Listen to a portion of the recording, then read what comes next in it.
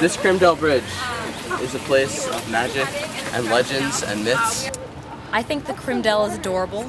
I like going here between classes so I can stop and feed the ducks and hang out with the ducks. My freshman year, I used to take bread from the dining hall um, and come and feed the fish. Yeah, um, I know that a lot of people think it's kind of like gross. They're like, it was really dirty in there. Reminds me of raw sewage. It's kind of. I'm never walking across the bridge.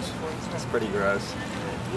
Um, well, I think sometimes it can be a little bit gross, like it is right now. Um, but if you catch it on the right day, I think it can be like a really strikingly beautiful place, and it can be just an absolutely beautiful place to see. The Crim Dell is actually ranked second most romantic location on a college campus by Playboy magazine.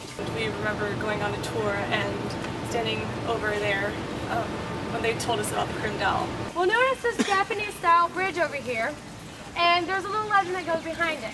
So say you come here for orientation and you know you fall in love, you find the person that you're in love with. So what you guys do is you walk across the Crim Dell together and you kiss them at the top of the bridge and you walk across and that's it. That's the legend. So you guys are gonna be so happy for the rest of your life. The only way to break that marital vow that you get from crossing the Crim Dell Bridge is to throw your significant other over the top. So my freshman year, it was probably a month into school and we went on a walk one night, came up to the Crim Dell and kissed on top of it. And maybe that's that's it, because Because I don't want to get tossed off. If you walk across alone, you'll be alone for the rest of your oh, life. Oh no! I never ever walk over it alone in a million years. Um, whenever I walk over it, I'm always with my friends and I'm like, hold my hands just in case. Don't be fooled by its aesthetic beauty.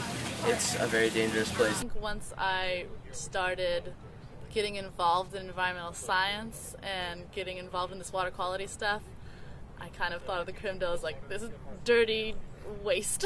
and you end up with lots of bacteria, viruses, and other microbes that are chomping on all that juicy organic matter from the algae. And as that water sits, it tends to sit and bake. And as it bakes, then it tends to get a little bit more fetid out there, and uh, and people see that and perceive that as visually and in terms of smell pollution. Well, it's kind of um, a love-hate relationship, so it's rather gross, but it's also an important part of our triathlon, so we wouldn't want to give it up.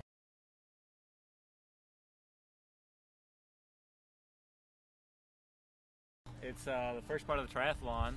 People get married off of it. People declare their love for one another off of it. I think the Crim Dell is just a beautiful spot on campus. It's probably the most beautiful spot on any campus that I visited when I was looking for schools, and it's really, it's really unique the type of lore and feel that pretty much everyone has about the Crim Dell. And this is ours. This is our symbol. This is a symbol of the college.